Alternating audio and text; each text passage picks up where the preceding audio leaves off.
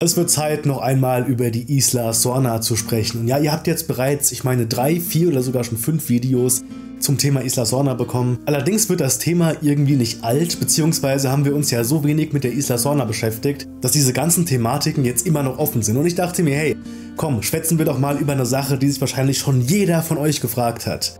Was wäre eigentlich passiert, wenn der Hurricane Clarissa nie auf die Isla Sorna getroffen wäre? Was wäre, wenn die Isla Sorna nach dem Vorfall von Jurassic Park gar nicht zerstört worden wäre? Interessante Frage, fand ich zumindest. Ich habe da mal ein bisschen nachrecherchiert, mir auch Gedanken drüber gemacht und das ist das Ergebnis. Viel Spaß mit dem Video.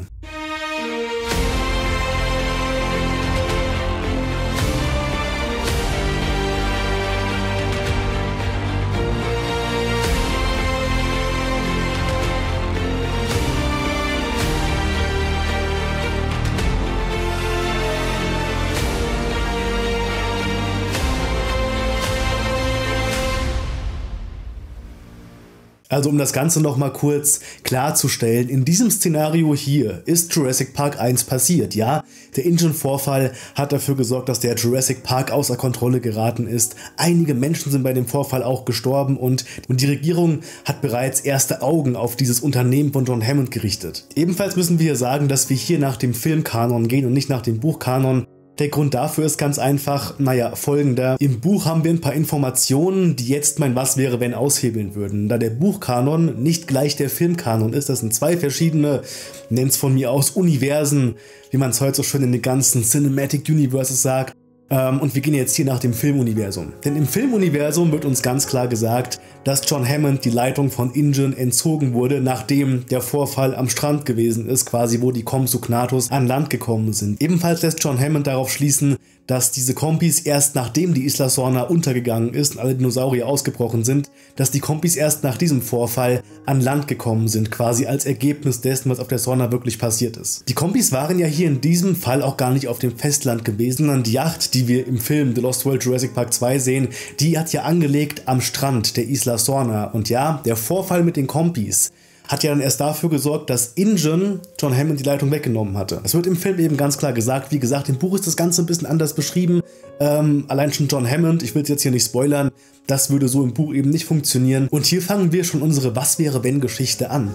Denn was wäre denn wirklich passiert, wenn Harry Ken Clarissa nicht auf die Isla Sorna getroffen wäre? Wenn die Isla Sorna 1995 nicht untergegangen wäre und deswegen auch nie die Yacht, die trotzdem ange angelegt haben könnte, auch nie in Gefahr gewesen wäre, weil die Kompis nicht frei herumgelaufen wären. In diesem Fall hätte John Hammond die Leitung an Ingen nicht verloren. Vollkommen klar, das wird nämlich im Film, ich sag's nochmal, ganz klar gesagt, das war so das, das i-Tüpfelchen auf der ganzen Nummer. Der Vorfall mit den Kompis hat das fast zum Überlaufen gebracht. Das war der Grund, warum man dann wirklich gesagt hat, okay, es reicht, du bekommst die Leitung weggenommen und dein, dein Neffe Peter Ludlow wird jetzt Ingen übernehmen. In der Original-Timeline aus den Filmen hat 1998 Simon Maserani dann daraufhin ähm, Ingen aufgekauft, übernommen und dann eben in Maserani Global Corporation umgewandelt. Das würde jetzt hier allerdings auch ein bisschen anders ablaufen, denn John Hammond würde erst die Leitung von Ingen verlieren, wenn er eben gestorben wäre. Da keine weiteren Vorfälle passiert sind, wäre Ingen auch in dieser Geschichte stark verschuldet. Die Regierung würde ein ganz klares Auge auf alles werfen, was Hammond als nächstes machen würde.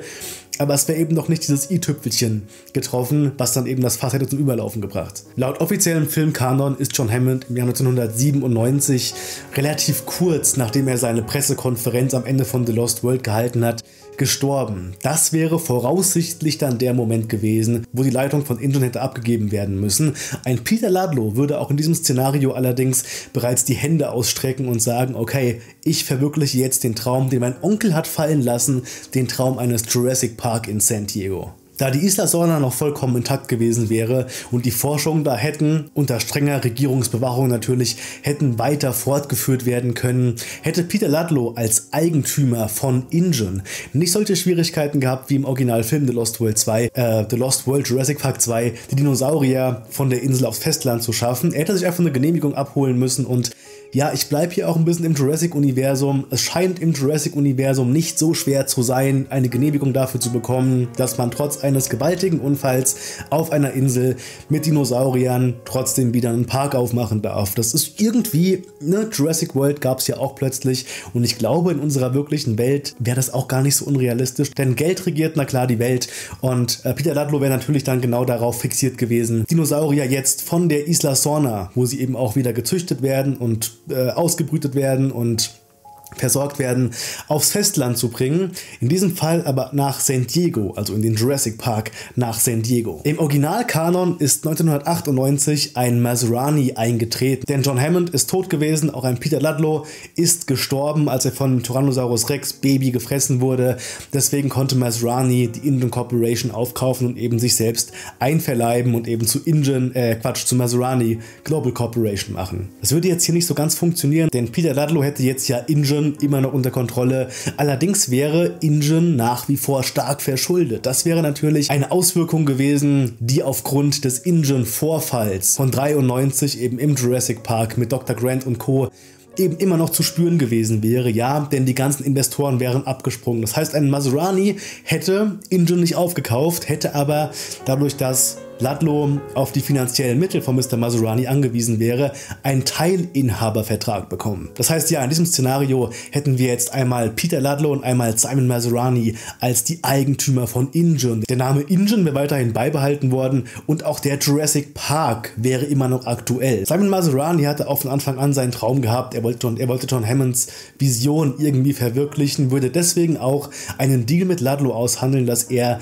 einen Jurassic Park auf der Isla Nubla errichten möchte. Das heißt, ja, durch die Milliarden an Geldern von Maserani würde einmal der Jurassic Park in San Diego langsam Gestalt annehmen und Maserani selbst würde auch einen Jurassic Park auf der Isla Nubla errichten. Das heißt, er würde im Endeffekt aussehen wie Jurassic World, würde aber eben aufgrund dessen, dass das ganze Projekt immer noch unter der Leitung Ingens wäre, weiterhin Jurassic Park heißen. Dr. Henry Wu, und darüber hatten wir auch schon mal gesprochen, sollte ja im ursprünglichen Konzept, also im ursprünglichen Gedanken von John Hammond, nachdem der Jurassic Park hätte eröffnet werden sollen, auf die Isla Sorna verfrachtet werden, um dann da eben seine Forschungsarbeiten in aller Ruhe mit allen Mitteln fortsetzen zu können. Das würde jetzt eben auch dann passieren, denn die Isla Sorna ist ja noch komplett intakt mit all ihren Gerätschaften. Henry Wu hätte also das sogenannte Amalgam Testing nicht im Geheimen vollziehen müssen und hätte durch Maserani und die Milliarden Gelder, die dahinter stecken, auch die volle Kapazität dieses Testings. Wenn du dich jetzt fragst, was das Amalgam Testing ist, ich habe dir hier oben mal ein Video verlinkt, da kannst du gerne mal draufklicken, da erkläre ich das Ganze ein bisschen näher. Im Endeffekt ist das Amalgam Testing durchgeführt worden im offiziell Kanon der Filme zwischen The Lost World, Jurassic Park 2 und eben Jurassic Park 3. Das Amalgam Testing bezieht sich im Endeffekt darauf, dass man versucht hat, verschiedene Komponenten von Dinosauriern zusammenzufügen, quasi die Vorstufe der Hybriden. Aus dem Amalgam-Testing ist übrigens auch der Spinosaurus entstanden, ähm, das dann auch die Frage beantwortet, warum der Spinosaurus noch nicht in Jurassic Park 2 aufgetaucht ist, in ersten Jurassic Park 3.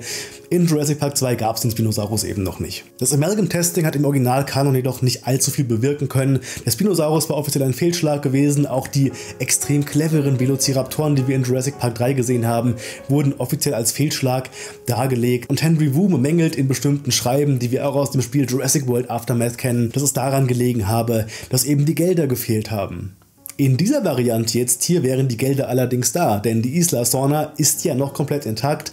Simon Maserani würde komplett seine gesamten Gelder in diese Entwicklung der Parks reinstecken und da eben mit rein investieren, weil er ja auch Mitteilinhaber wäre. Und Henry Wu könnte sofort anfangen, das Amalgam Testing in vollen Zügen auszukosten. Ja, in diesem Sinne wäre auch ein Spinosaurus erschaffen worden, der wieder mal als Fehlschlag gegalten hat. Diese Fehlschläge, auch die Velociraptoren, wären wahrscheinlich trotzdem erstmal erschaffen worden und daraus hätte man dann nach und nach eben gelernt, wie man es richtig macht. Wir fassen noch mal ganz kurz zusammen. Aufgrund dessen, dass die Isla Sorna in diesem Szenario nicht durch den Hurricane Clarissa zerstört wurde, hat John Hammond seine, seine, seine Macht über Ingen erst verloren, als er gestorben ist. Peter Ludlow ist daraufhin nicht gestorben, weil er die ganze Operation ja nicht im Geheimen durchführen musste. Deswegen konnten auch nicht so viele Komplikationen entstehen und so viele Fehlschläge eben mit eingebaut werden. Er konnte ganz gezielt Dinosaurier von der Isla Sorna nach San Diego schaffen. Das allerdings aber auch nur, weil er die gewaltigen Schulden Schulden, die Ingen aufgebaut hat, mit Simon Maserani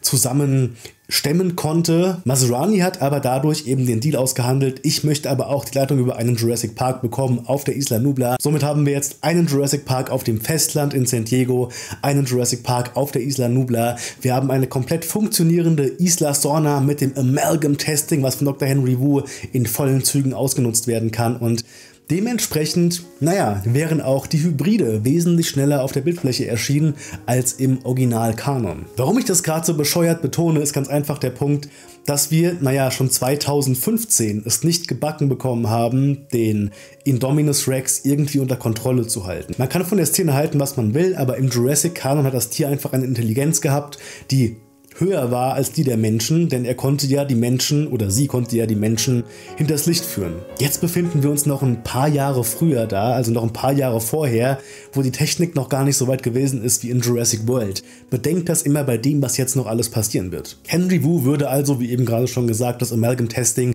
komplett benutzen können. Es gibt keine Einschränkungen mehr.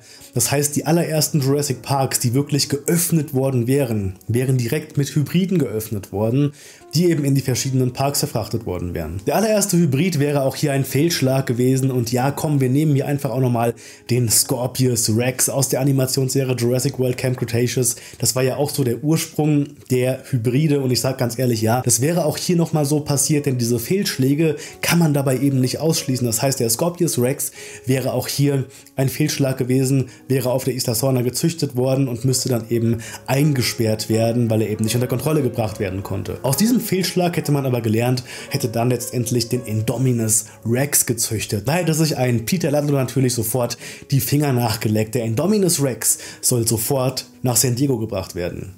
Gesagt, getan, das Tier wurde in den allerersten Jurassic Park auf dem Festland gebracht und die Zuschauer sind wahnsinnig geworden. Nicht nur ist der Park ein finanzieller Erfolg, sondern auch ein weltweiter Erfolg. Die Menschen kommen von überall aus der Welt an gereist, um gerade eben auch diesen Hybriden zu begutachten. Es dauert also auch nicht lange, bis auch Simon Maserani für seinen Jurassic Park auf der Isla Nubla einen Hybriden anfordert. Und hier habe ich mir überlegt, okay, macht der Indoraptor Sinn?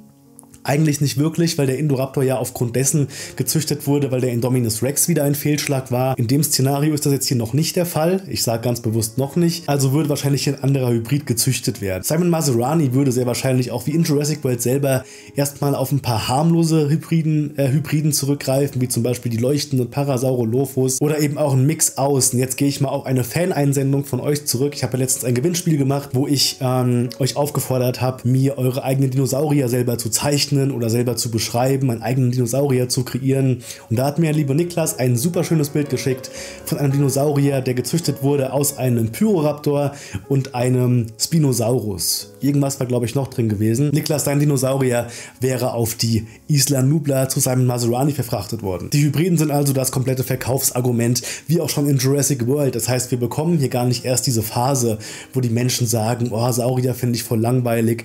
Die überspringen wir jetzt hier komplett, weil wir sofort Dinosaurier haben und aber auch noch Hybride mit dazu nehmen können. Beide Jurassic Parks sind ein dermaßen großer Erfolg, dass nicht einfach nur die gesamten Schulden von Ingen relativ schnell wieder verschwunden sind. Nein, der Jurassic Park expandiert weltweit. Quasi der Traum von John Hammond wird jetzt hier wirklich wahr. Und es gibt generell auf dem gesamten Globus überall Jurassic Parks. Nicht in dem Ausmaß wie eine McDonalds-Filiale, aber es wird in Europa einen geben, es wird in Asien einen geben, es wird nicht nur auf einzelnen Kontinenten, es wird weltweit mehrere Parks geben. Da diese Parks ja auch mit sehr vielen Kosten verbunden sind, würde ich einfach mal sagen, ey, die würden es geschafft haben, durch diese Expansion noch locker fünf weitere Jurassic Parks auf der gesamten Welt aufzubauen. Und ich habe euch ja am Anfang gesagt, ich versuche ja auch wirklich im Jurassic Kanon zu bleiben. Deswegen, ich hinterfragte auch gar nicht bestimmte Sachen, warum das eben so oder so ist.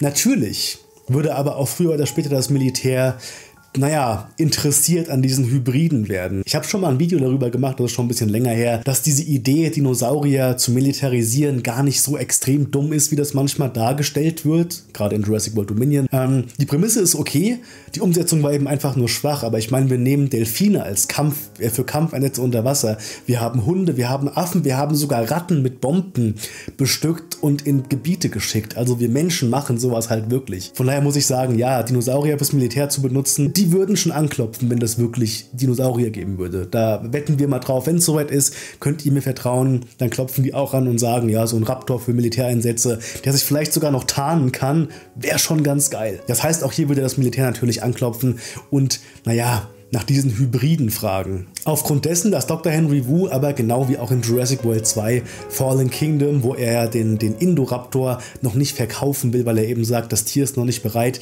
würde auch Dr. Henry Wu in diesem Szenario das Militär erstmal wegschicken und den Milliardendeal einfach erstmal abblasen. Zum nicht unbedingten Glück von Peter Ludlow, der natürlich eher so das Geld vor Augen hat. Aus diesem Grund verspricht Henry Wu seine Forschung wesentlich stärker und wesentlich weiter auszubauen und eben mehr in diese Hybriden zu stecken, damit sie dann irgendwann doch mit dem Militär vielleicht einen Milliardendeal aushandeln können und Dinosaurier, naja, an die Regierung weitergeben können. Durch genau diesen Vorgang, dieses dieses extensive Forschen passiert genau das, was Dr. Ian Malcolm bereits in Jurassic Park 1 vorher gesagt hat.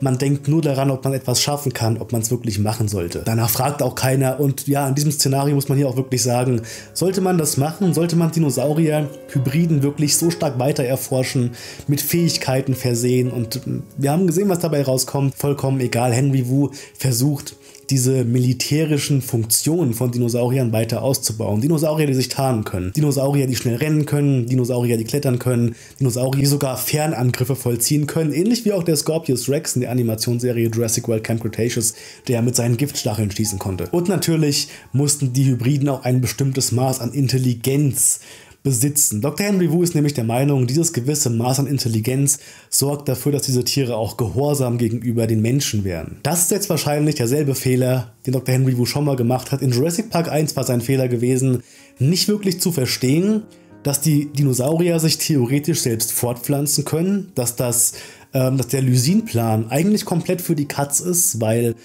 das Lysin bekommen die auch woanders her, wenn es hart auf hart kommt. Das hat er da nicht gesehen. Hier hat er genau das nicht gesehen. Was, wenn wir Dinosaurier einfach viel zu intelligent machen? Natürlich kommt, was kommen muss. Die Isla Sorna ist der erste Punkt, der komplett eskaliert. Zuallererst bricht eine ganze Reihe von Hybriden auf der Isla Sorna aus, die es eben geschafft haben, die Menschen ähnlich auch wie in Jurassic Park, äh, in Jurassic World in das Licht zu führen. Und die sorgen dann für ein reges Chaos auf der gesamten Insel. Wir haben ja bereits gesehen, was ein Indominus Rex alleine im Alleingang auf der Isla Nubla anrichten konnte in Jurassic World aus dem Jahr 2015. In diesem Fall haben wir jetzt allerdings mehrere Hybriden da, weil Dr. Henry Wu natürlich schon mehrere Forschungen machen konnte, aufgrund dessen, dass er eben die Gelder fürs Amalgam-Testing schon wesentlich früher hatte. Die Tiere verwüsten also die gesamte Insel und die Wissenschaftler versuchen zu fliehen. Dabei gibt es natürlich einen ganzen Haufen Tode und Dr. Henry Wu schafft es, gerade noch so einige Embryos dieser Hybriden mit von der Insel runter zu schmuggeln, denn er schafft es natürlich, die Evakuierung zu überleben. Als nächstes wäre der Jurassic Park in San Diego dran gewesen. Der Indominus Rex schafft es auf eine ähnliche Art und Weise wie im Original Jurassic World Film aus dem Gehege auszubrechen, ist diesmal allerdings nicht auf irgendeiner Insel, wo man sagen könnte, okay, ähm, zur Not kommt er da eh nicht weg. Nein, in diesem Szenario ist der Indominus Rex sofort in der Stadt, sofort in San Diego. Das Tier kann sich tarnen, das Tier sorgt dafür massig Tode, für massig Panik, für massig Panik und für Massenpanik. Also ist eigentlich dasselbe. Für, Massen, für Massenpanik. Extreme Verwirrung gerade. Ähm, auf jeden Fall sorgt das Tier da eben für eine herge Aufregung und eben auch, dass sich quasi das Auge der Regierung erneut auf diesen Konzern Ingen richtet. Sowohl Simon Maserani als eben auch Peter Ludlow werden dafür zur Verantwortung hergezogen, dass dieses Chaos wirklich passiert ist, dass diese Tode eben auch, naja, über die Welt gebracht wurden. Noch ist das Ganze gar nicht so sehr eskaliert, mögt ihr meinen. Doch jetzt kommt ein Louis Dodgson mit ins Spiel, denn der darf hier natürlich auch nicht fehlen. Louis Dodgson war nach Jurassic Park 1 immer irgendwo im Hintergrund am Rumwerkeln, wenn wir uns nämlich überlegen,